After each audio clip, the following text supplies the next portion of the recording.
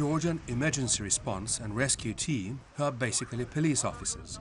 They have been assembled in preparation for a hunt for radioactive sources believed to be missing in Georgia. The task is not completely new to them, as in February 2002, these emergency workers participated in the actual recovery of two radioactive sources. In June, the International Atomic Energy Agency, with experts from four countries, supported Georgian survey operation designed to track down other so-called orphan sources. Member countries donated various types of sensitive radiation detectors. On the training ground near Tbilisi, the main target was to teach emergency workers how to use this equipment in the mountains. The teams were to discover a hidden, although a weak source, placed in a protective container. A long road from Tbilisi to western Georgia, some 600 kilometers away from the capital, into a picturesque but rough environment. The last leg of the journey goes through Inguri Gorge, which is a unique environment with risky roads and snow peaks of up to 5,000 meters.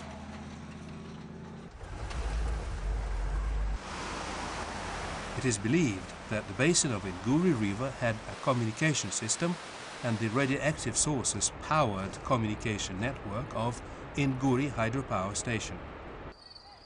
In the chaos that accompanied the collapse of the Soviet Union, many of the radioactive sources were left behind or orphaned and have slipped beyond control. The operation base, actually an abandoned school from where the survey has been launched. This place is home to a mix of ethnic groups, close to a zone on conflict, and Kalashnikov automatic rifle is a necessary security attribute. Agency staff and international experts followed survey routes together with Georgian radiation specialists. I believe uh, that uh, this is unique uh, operation uh, for the whole agency. Uh, different departments of the agency, different organizations uh, from Georgia and experts from some countries participate in its implementation. And I also would like to underline the human uh, dimension of this uh, activity uh, since we try to reduce the radiophobia of the local population.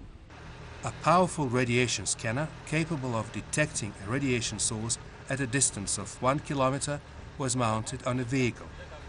In places accessible on foot only, the search continued with a handheld device.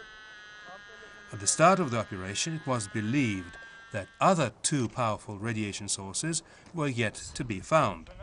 But non-discovery of any other source does not mean the failure of the operation. On the contrary, it is a confirmation that no radiation hazards exist in this area.